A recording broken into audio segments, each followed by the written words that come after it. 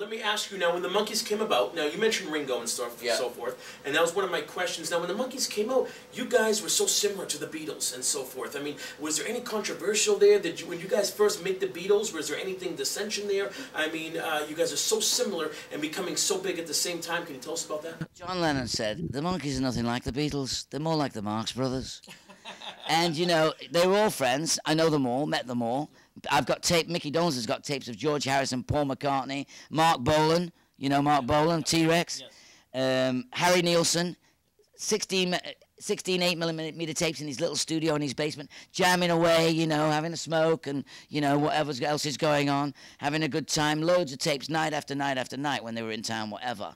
Um, the Beatles, obviously, we've all been great fans, and every time I hear them now, I go to a pub now in Richmond, um, Virginia. It's called Penny Lane. It's owned by um, uh, a guy called Terry from Liverpool. It's Monk. Uh, Beatles are playing over and over and over every Beatle record you've ever heard.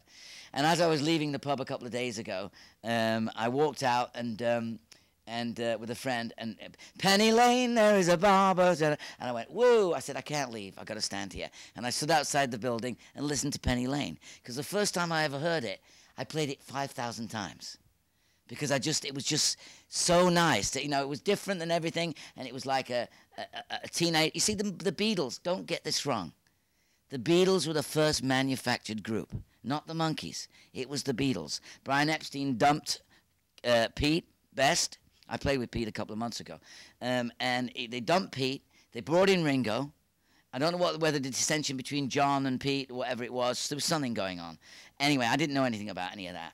And they, they dressed them in the same suits, and they put the Capezio shoes on, you know, with the boots on. They, they, they well, actually they were Oliver boots that we used on the Oliver stage. They had the little Oliver haircut, like a little, you know, like a little beetle bowl cut and they put presented them all the same way. J- J- uh, J- um, Paul was playing this way, John was playing this way. Ringo was doing his thing, throwing his hair around, and George was an amazing musician, totally over underrated. Totally, I have a tape of them together. Uh, Ringo couldn't be at this um, meeting, and so George and, and John uh, and Paul are talking, and um, uh, they're saying to you know, uh, I think John or Paul said, you know, um, um, well, you know, we're the ones who write the songs, you know, and George said, well, you know, I have been enjoyed. and I just love that. I have been enjoyed, you know, something in the way she moves, you know, My Sweet Lord, all these great tunes that he wrote. Amazing, amazing songwriter. Uh, you know, in a different vein than those boys were. My most disappointing thing about the Beatles over the last couple of years is when Paul decided he wanted to change um, a song title that he had written with John to McCartney and Lennon. It's sort of like, you know, Hammerstein and Rodgers, you know. I mean, it sort of like diluted a little bit for me there, something.